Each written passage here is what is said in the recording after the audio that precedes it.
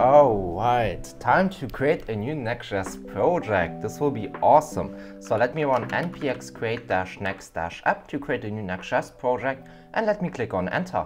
Wait, what? New Next.js version? You have to be kidding me. I just learned Next.js 14, now we have Next.js 15. Am I a joke to you guys?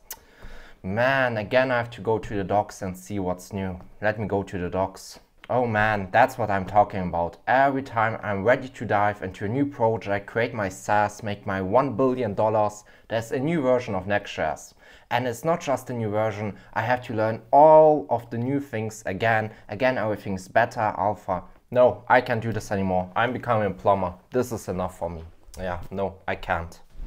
Hey everyone, welcome back to the channel. My name is Jan Marshal and in this video I want to talk about my problems and maybe also your problems in Next.js and actually the recent releases of Next.js. Now before I actually get started, uh, what I want to say is that Next.js is incredible. I use it for all my projects, my YouTube projects, my personal projects, and also for my website janmarshal.com. It has a lot of features which I don't want to miss, like for example caching, layouts, server components, server actions, just things which I use daily and make my life way easier. Nevertheless, this does not mean that I don't have problems with Next.js and that's exactly what I want to talk about today. Now the problem isn't actually the frequency of updates, so Next.js 13, 14 and 15 all happened in one year, so we had three major releases in one year. Now that's a lot, but I don't really think that's a big problem. My problem is actually more that the features on which the framework builds are actually marked as beta, uh, alpha and not stable and this is just something that does not sit right with me.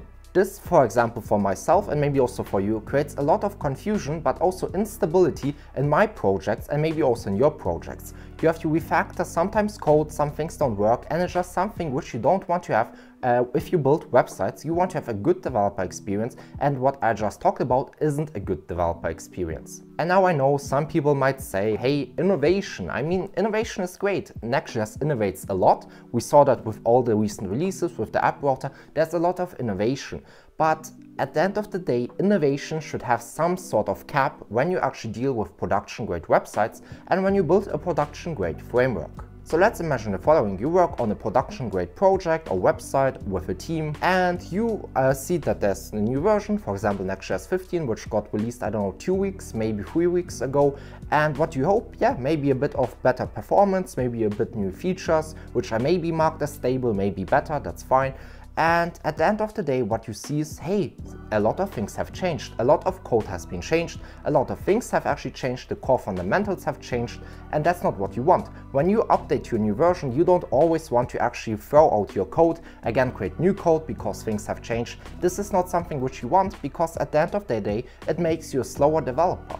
So this leads to a situation where actually developers have to spend a lot of extra time to troubleshoot and fix core issues which are not documented and also a lot of uh, people still haven't really actually figured out. This at the end of the day actually disrupts your workflow, the uh, workflow of the actual core maintainers of the project and just in general is something which you don't really want. And now you might say, hey Jan, please give me an example. What exactly do you mean? So one year ago I created a video Next.js 13 versus Remix.1. Now in this video I talked about the pros and cons of the individual framework, what I liked, what I did not like, just in general my honest opinion on the two frameworks. And one thing which I mentioned inside of this video was stability. Now at that time Next.js 13 got released with the app router, server components and all the bells and whistles and it was great.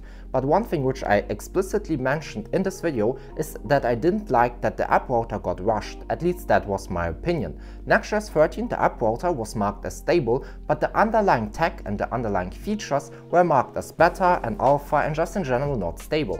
Let me give you an example. The useFormStatus hook, the useFormState hook, server actions, they were all not marked as stable, while the framework itself, so Next.js 13, was marked as stable. And this just does not sit right with me. So if you try to build a website and you have server actions, but the team tells you, hey, they are not stable, but the app router is stable, yeah, I don't know. I really don't like that. I want that the actual framework and the core technology which uh, is around the framework works. But now you might say, hey Jan, that's one year ago, who cares today? Everything now works, server actions are, fully stable, the useFormStatus hook is stable, the useFormState hook is stable, everything works, who cares? Well, today something else has changed. So I already told you, I think three weeks ago Next.js 15 got released and there are not a lot of new features like there's uh, partial pre-rendering, which is better, it's cool, but it isn't really core, so I don't really care that it's beta or alpha. It's fine, it's there, you can use it if you want to, you can test it out. And that's also a great thing that uh, actually Next.js did, that they actually put it behind an actual feature flag. But one thing which they have changed in Next.js 15 is caching. So Next.js 13, when they released the app router, the actual core fundamental of caching was that everything was pre-rendered. So if you actually um, deployed your website to, for example, to Vercel, your whole site was static since it was actually pre-rendered. And at the start it was actually quite annoying. I myself also found it annoying and also other developers found it annoying. There were a lot of bugs, you don't really understand why some things were cached and some things not. And also for example route handler, so the get request was cached and just in general people didn't really understand why it was happening. But now since already one year has actually passed and we are now already at Next.js 15, most people now actually understand caching, they know the workarounds, they know what works, what does not work. And I for myself kinda started liking the caching system system of Next.js. And three weeks ago, Next.js, uh, I guess, released Next.js 15 and said, yeah, we are changing the caching system. You guessed it. And you know, I really didn't like this actual release. The Next.js 15 release was in my actual viewpoint a complete fail. Because people now finally understood the caching system in Next.js, the app router, that everything was pre-rendered, how to work around it. And now they said, hey, who cares? We are again reverting everything to no caching. Yeah, not, not what I wanted, because if they actually had listened at the start when Next.js 13 got released, this whole problem would have never come. If they would have marked the Next.js 13 app router at the start as not stable, as beta, people would have given the whole team feedback, they would say, hey, I don't like this, I wouldn't like that, please change that, the Next.js team would listen and just adapt the actual framework. And then once everything was ready, they could have actually released it as stable. And that's what they should have done. They didn't do that, and that's why we are now in this actual, I guess,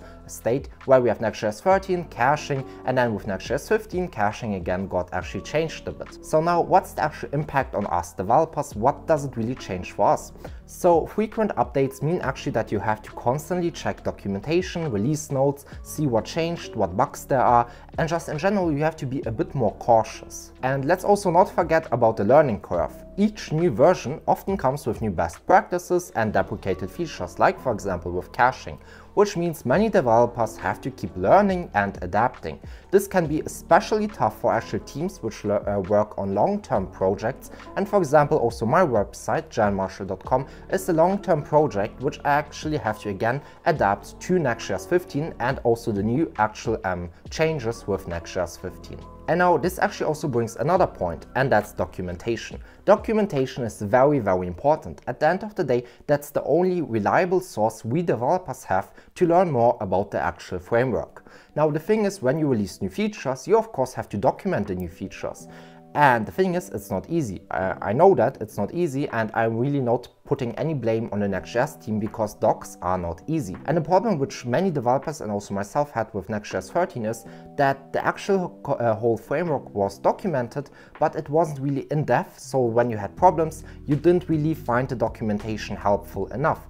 And when you have new uh, actual releases, now like for example with Next.js 15, it's again the same thing with the documentation. You have to again change the documentation and that also means that you will find again spots in your documentation which aren't perfect perfect and then you again have problems and the DX again isn't great. So now you might ask me, hey Jan, what can you do? Since you're such a pro and you know everything, which I don't, what can the Next.js team do? What can developers do? Well, in my opinion and in my humble opinion, the Next.js team could be a bit more conservative with their releases. Now, I don't mean, hey, you should scratch releases. I think it's fine, they release a lot of cool stuff, but what I think they should change is actually marking things as stable when they are not. Again, if we look at Next.js 13, everything was fine, the, the router was, I guess, stable, but the underlying tag was not. And this is something which you don't really want, or I guess I, as a developer, I don't want to have something like like that. Now if they would actually change their approach to releasing versions, I think this would actually build a bit more trust in the actual framework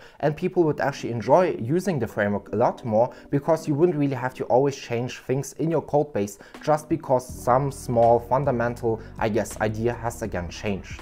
So what's the conclusion of this video? Well, the conclusion is Next.js is a great framework, the ecosystem is great, the features are great, server actions are great, layouts are great, server components are great, everything is great. The only thing which is bugging me are the actual releases and I think the Next.js team could be a bit more cautious when actually releasing a new version and marking certain features as stable when they're actually not. And with that, what do you guys think? What do you think the Next.js team could maybe change to build a bit more trust, but also to make the developer experience a bit better?